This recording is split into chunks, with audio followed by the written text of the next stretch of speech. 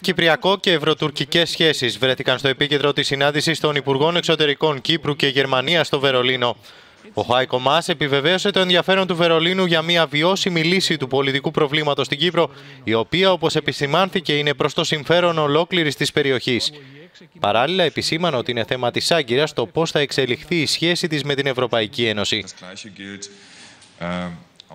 Το ίδιο ισχύει και για την προοπτική της Τουρκίας προς την Ευρωπαϊκή Ένωση.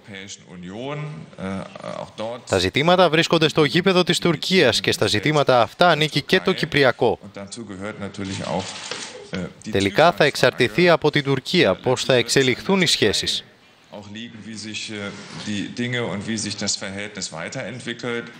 Την απόπειρα της Άγκυρας να ρίξει γέφυρες προς την Ευρώπη σχολίασε από την πλευρά του ο Νίκος Χριστοδουλίδης. Αυτή η στροφή της Τουρκίας, αν είναι ουσιαστική, που ευελπιστούμε, επαναλαμβάνω να είναι, θα πρέπει μέσα σε αυτό το πλαίσιο να εκπληρώσει και τις υποχρεώσεις της προς την Ευρωπαϊκή Ένωση συμπεριλαμβανομένου και τις κυπρογενείς υποχρεώσεις αλλά πολύ περισσότερο, ειδικότερα στην παρούσα συγκυρία, τον καθοριστικό της ρόλο στην επίλυση του Κυπριακού.